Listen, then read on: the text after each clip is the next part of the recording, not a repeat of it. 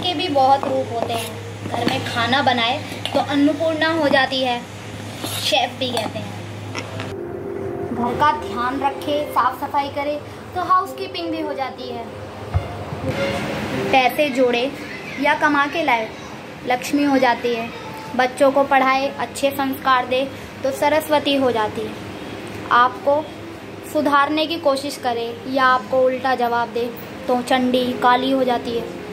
और अगर आपके सामने कोई भी जवाब ना दे तो गाय हो जाती है।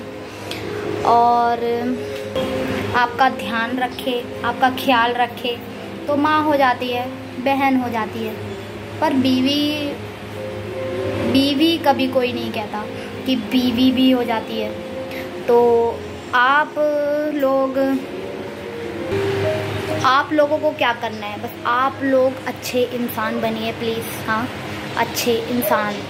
औरत तो बहुत सारे किरदार निभाएगी, पर आप एक अच्छे इंसान बनिए तो आप एक अच्छे पति बनिए तो वो अच्छी पत्नी बन के दिखाएगी। तो आज का ज्ञान यहीं पर ही ख़त्म। नमस्कार। बाय